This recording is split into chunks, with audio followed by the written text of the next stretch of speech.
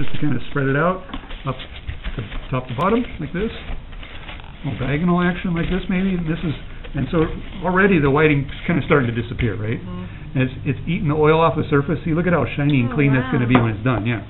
All right, so we're spreading the whiting around at first, just to get it spread out. All right, now, here's the trick, we're gonna take this buffing brush and make sure again it's a natural bristle brush. The bristles are already starting to darken.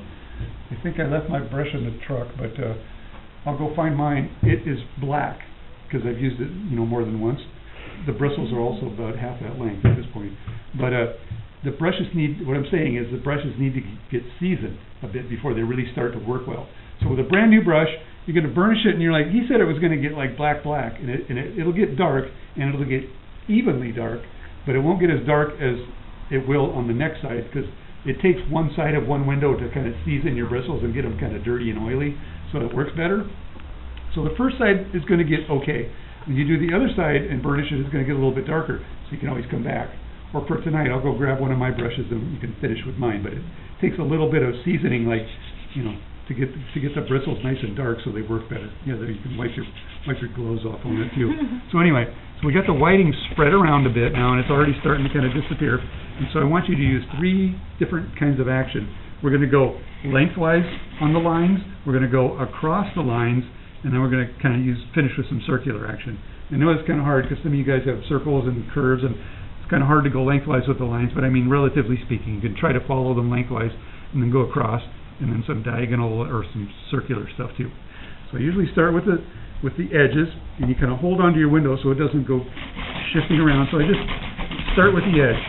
And so, so what the brush, brush does is it, it evenly darkens the metal, and it's also like using like ten thousand of these sticks at the same time.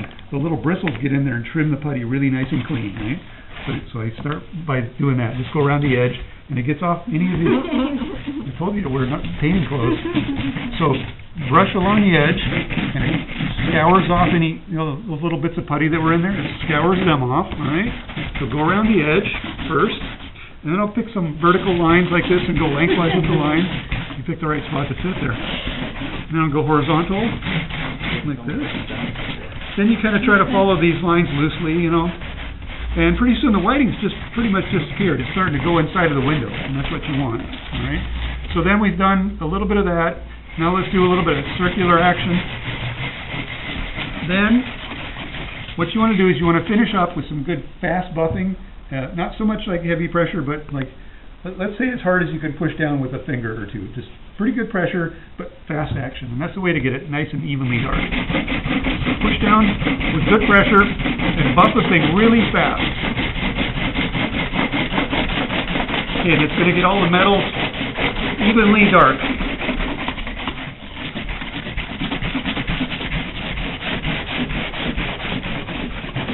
And pretty soon you've got tennis elbow and you're, you're, you're done. All right. So again, go go with your bristles lengthwise on the lines like that, and it'll trim up any loose bits of putty that might still be hanging in there. So look at how yeah, look at how different it's it's pretty dark. Yeah. Right, right. And look Even at the the colors and everything. the brush is already starting to season well. So